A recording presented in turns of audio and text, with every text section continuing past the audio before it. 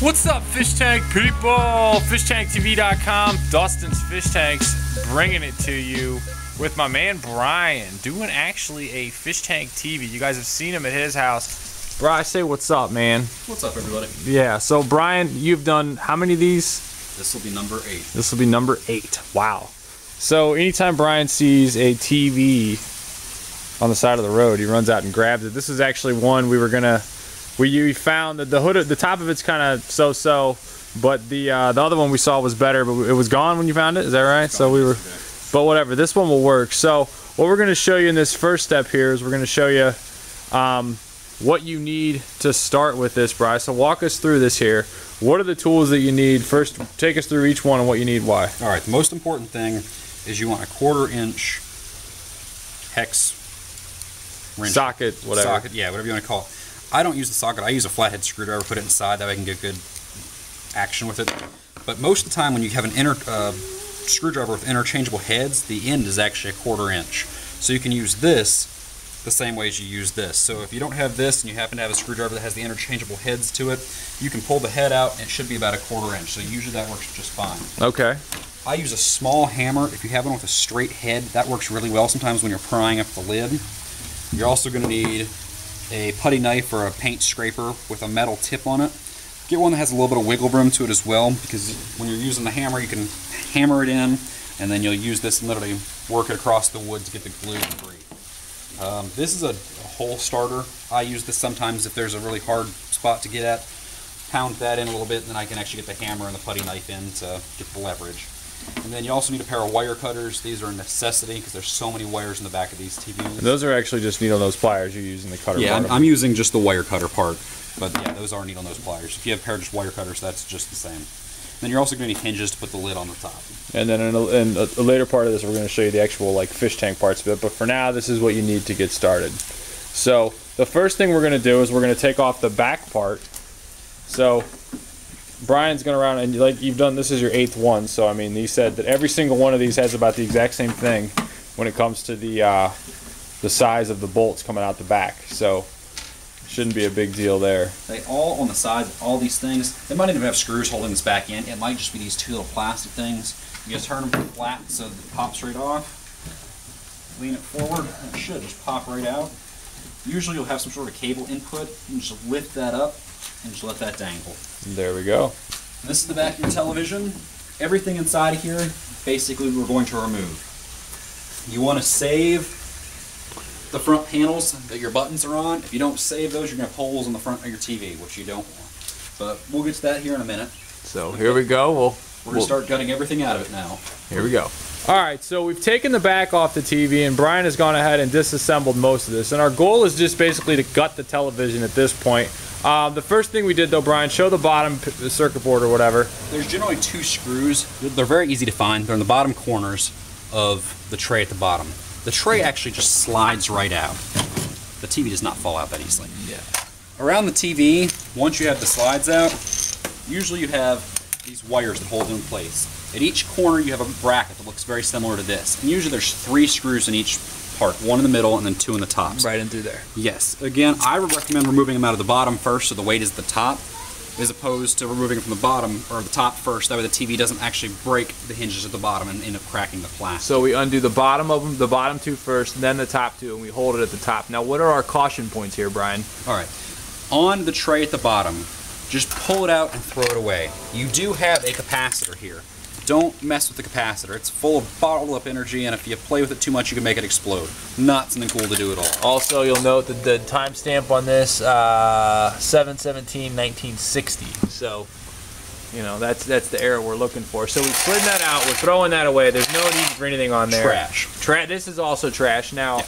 we've done undone our, our, what, dozen bolts on this. Exactly. The back of the TV, I'm going to lean it down. I've already pulled it out it falls out very easily once you have your bolts removed. But the back of the TV is actually just like a gigantic light bulb. If you break this off, all the gas inside the TV is going to come spewing out. You don't want to have that happen. If it does happen, just get out of the room, open the window, let it air out. Don't go in there for an hour or two. I don't think it would, it's not going to harm you. Don't mess with it. Yeah, just don't mess with it. But Just be very careful to not bend or break this piece off the end because it is basically just the cap to a bunch of pressure inside the TV. Okay. And then something just to show for fun. This is how you change the what the colors on the Yeah, TV. you can change the pixels and everything with the little knobs, or this is how they would adjust them back in the day. Usually there's paint showing where they should be for best from the factory, but That's people could play with that a little bit. Yeah. For Yeah. LCDs. So the other part here is we want to talk about. We'll go. Around, I'm going to go around to the front to show this, but go ahead and talk about it, Bryan. The the panel part here. The buttons here are actually part of the inside here. So you don't want to throw that away. You want to make sure that you keep that panel. I stripped all the wires out and just left this. This is actually one piece that came out. I screwed it back on so that I had the buttons in the front still. We'll tighten it up just a little bit. But if you remove this piece and throw it away, you're gonna have holes where the buttons were, and then you'll be able to see your fish tank from the front through little small holes. If that's what you want, by all means, that's cool. But if you want it to look original, I would recommend leaving this panel on. And then also a piece of caution with this panel. You're talking about the dials and just the way that that panel might come sticking back out. The, you know, parts of it. You said the dials in the lower part. Yeah, the dials, the lower part down here, I went ahead and just left them in. Um, this TV doesn't have them sticking out nearly as far. Some TVs have really long dials to get back to the electronics in it, but this one doesn't have that. Up here, there's actually two screws, some really sharp points. I'm going to remove that in a moment. All right.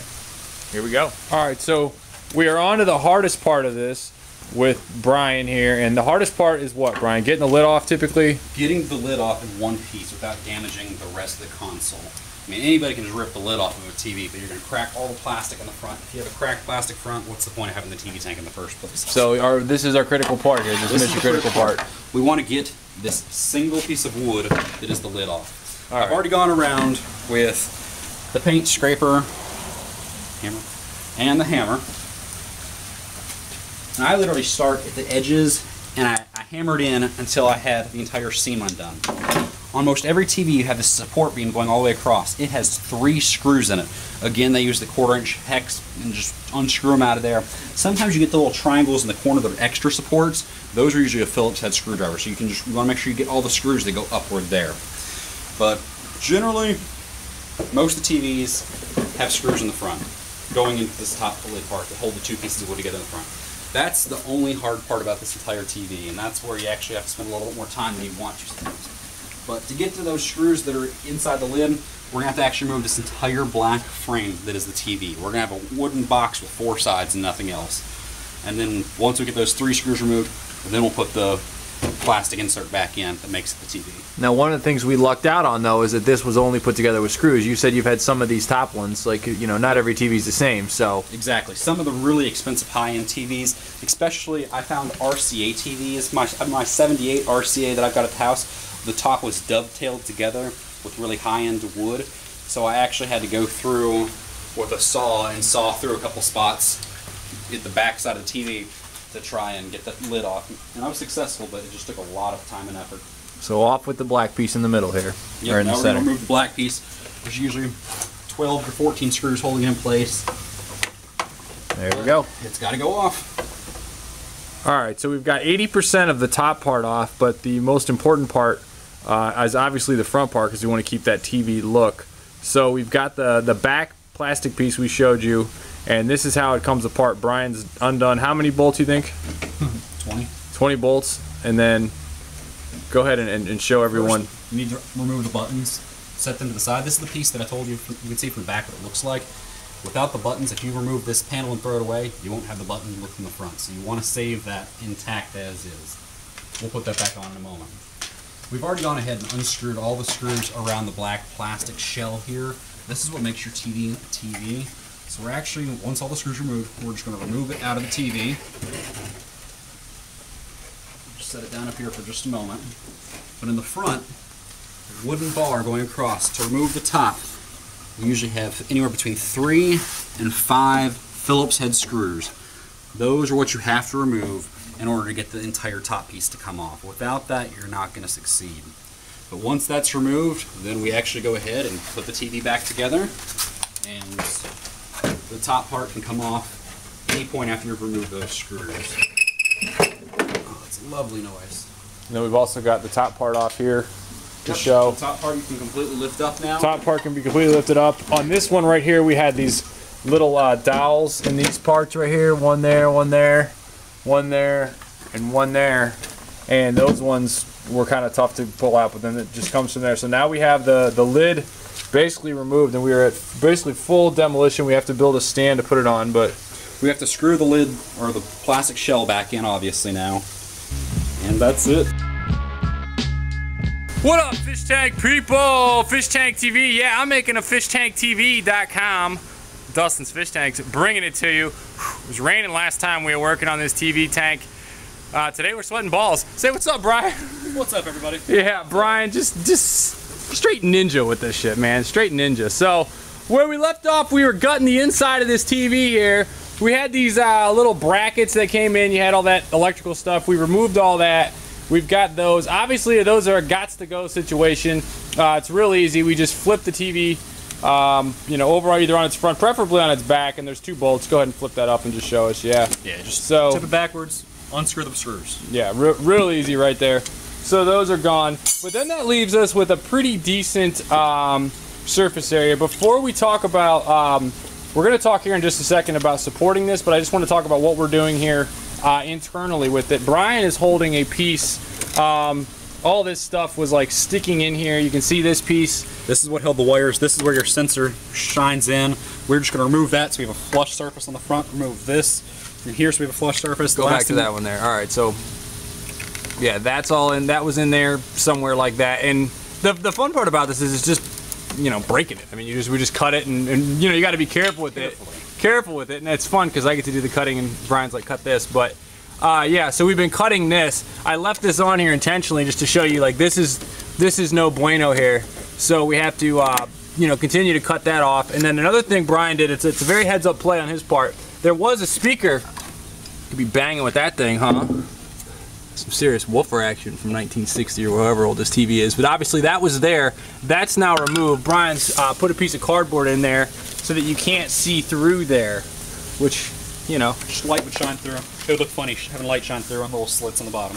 So we've got that done. All he did is just just put a screw through that piece of cardboard. You know, you could probably color it black if you wanted to, but this is the important part, Bryan. So let's talk about this. We've got this vented bottom here, which is no dice. I mean, this wood just looks kind of crunk.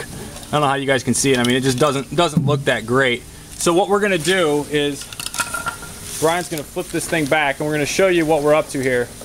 And obviously, you always want to flip it backwards so that you're not messing with the front get scratching it up or anything. So we've got this underside here. Now, there's a couple of ways to do this. And first, let's talk about why we're doing this here. A 29 gallon, um, a gallon of water weighs 8.8 pounds times, you know, 29. You want to call it 255 pounds roughly, plus or minus with gravel and rock. So if you're supporting 255 pounds, you want to make sure you do it right. So you could really, you know, have some issues here. So Bryan and I were talking about this. Bryan, what's your recommendation for? There's some options. You've done some things some different ways here. So Yeah, there's a bunch of Get down a little bit, and- get down a little bit, and show us what we're doing here. So, All right, basically you got a six inch gap below the bottom piece of the, of the TV itself.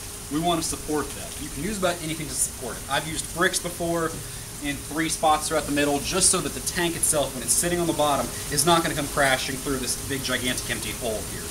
Um, what you want to measure is the height at the edge. This is the exact amount. This tank we got six inches let's show that here. six inches on the side. So that's what we need to support in the middle so that the TV itself is flush all the way across the bottom and will support the weight evenly. Right, we're hanging six inches, folks. And so we got the, we got the bricks, or not the bricks. Excuse me. We're using uh, what are these? Seven inches by Seven one and a half. One and a half roughly. So one and a half times four gets you your six inches. So So we just cut these. These you can set in place once you have the TV where you want it in, the, in your bedroom, in your house, wherever you're going to put it. You'll set these down on the floor and then we'll set this down. If you want, you can actually mount something to the side to hold them together, put some super glue between them, put some Elmer's glue between them, just so they stay together as supports. And we cut. Obviously, the, the cuts really don't matter all that much. Um, you know, crunk cutting, whatever. It was just some scrap pieces of wood we had. So um, that's that's really where we are with that. We're gonna probably super glue these together, or you know, wood glue them together, whatever. Uh, and, and that will be adequate, yeah, Bryan. I mean, that's that's Yeah, plenty gonna enough. Be, that's gonna be just fine. If you want, you could even take a little bit of wood glue on the bottom here and actually glue them to the bottom. My first TV tank I ever did, because we're actually going to elevate the inside as well, you could screw from the inside into this back piece here, but you want to be careful just so that you don't have any screws hanging over or anything so that nothing's going to make it uneven inside. But wood glue would work just fine for you. It's going to support it. Once you have the weight of the tank on top of it, they're going to hold together. They're, they're not going to fall apart on you. Okay, and then let's take these out and let's flip it up real quick, and we're going to show you guys. Um, this is a really critical part aesthetically uh, with the tank. Okay, so the dimensions of a 29 gallon tank. It's 30 inches. Our wonderful 29 gallon tank here. It's 30 inches across, 19 inches up and down, and then it's what, like 13, 13 roughly. 13 roughly on the back. So the problem is, Bryan, and, and get down and, and show this here, is we're going to do the through the TV shot. What we've got here is we want to make sure that the tank is actually in the window of the TV. So If we were to set it flush on the bottom, 19 inches would end here. You'd have this entire inch and a half, two inch gap on top with nothing. Yeah. So we actually want to put supports on the bottom as well on the inside of the TV frame so we can elevate it up about two inches. So that the lip of the tank actually sits just above the inside window so we want the lip, and let's just show that again from this angle here. We want the lip of the tank right about here. We don't want the lip below this or else you'll see light through it. In the same instance, you want to have only glass showing in the area where your And that's important. That's what we're trying to do, Yeah, right? you want it to look as natural as possible, like it was made to be this way. So from top to bottom of this TV right now, we've got 23 inches. We've got four inches to play with roughly. We've got to remember later on we'll put lights in. We'll talk about that in the next video. Okay, so we've done our measurements, and we looked and we realized that we need to raise this up uh, two inches, I think. So we're gonna raise it up two inches. So we've already got these pieces here. Go ahead and rotate one of those ends. So yeah, we got uh, one and a half inches here. Well, that's not gonna cut it. But what we're gonna do is we've actually cut this piece of wood here. Um, this is actually a scrap piece of wood. You'll notice that the, the corner, that doesn't matter. Um, 31 inches across, sits down in here like so.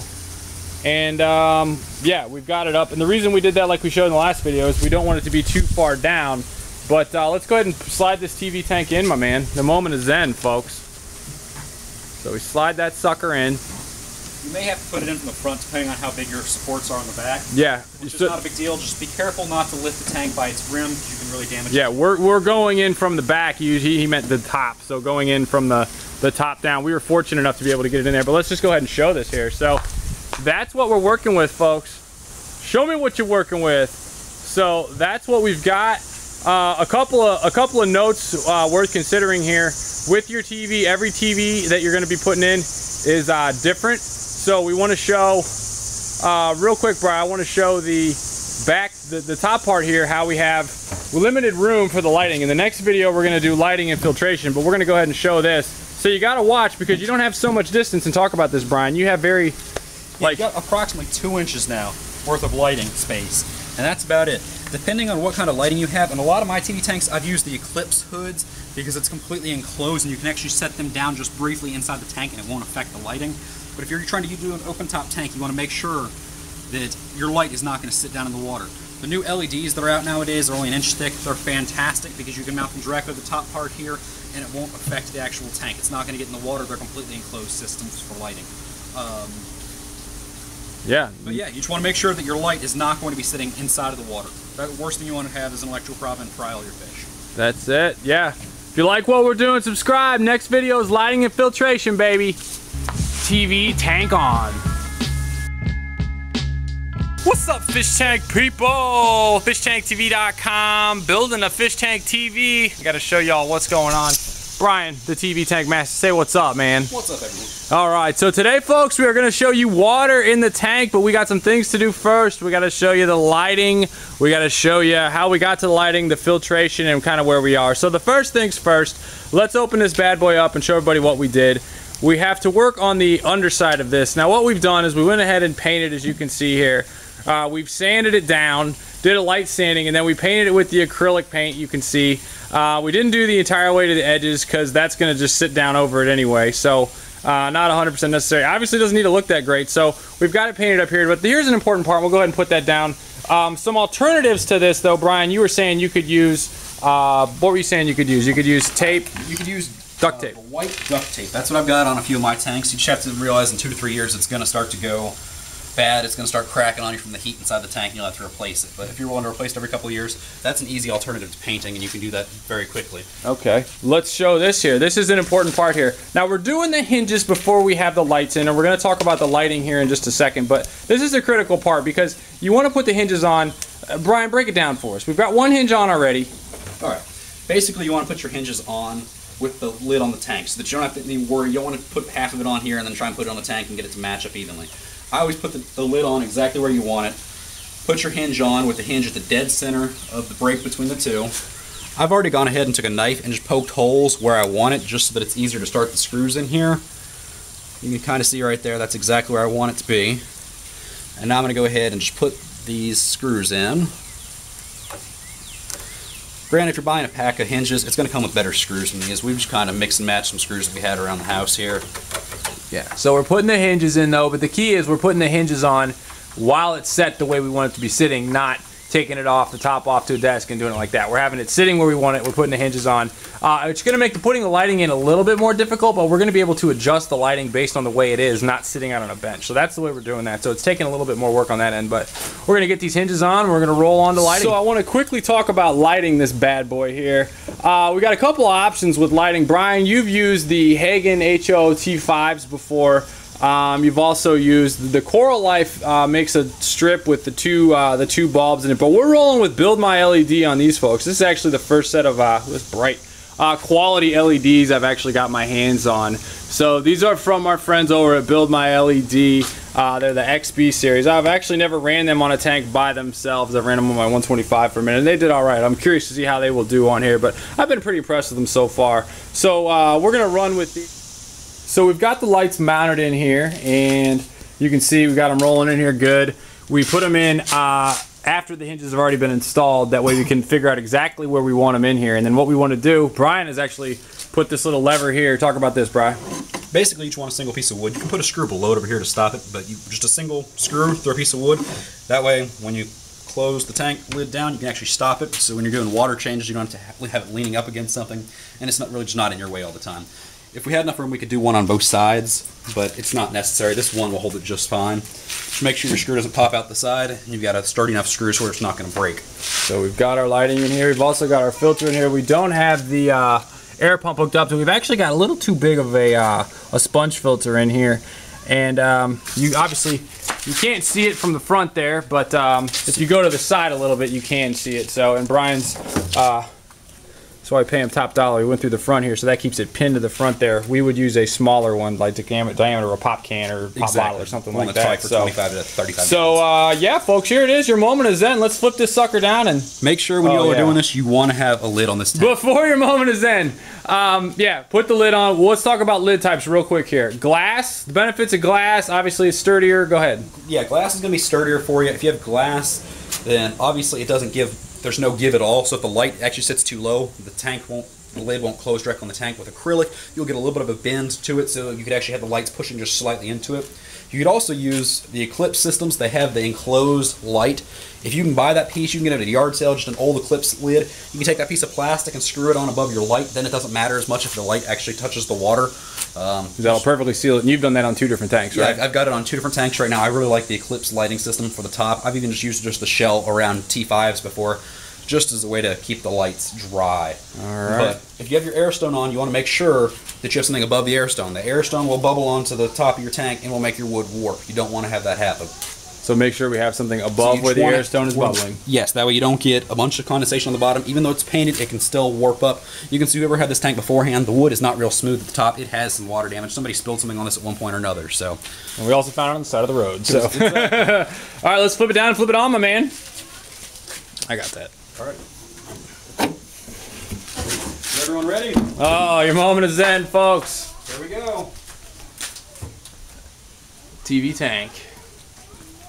If you like what we're doing, subscribe, fish tank people. Guess what we're going to be working on next? If you think this is how I'm going to aquascape it, forget it.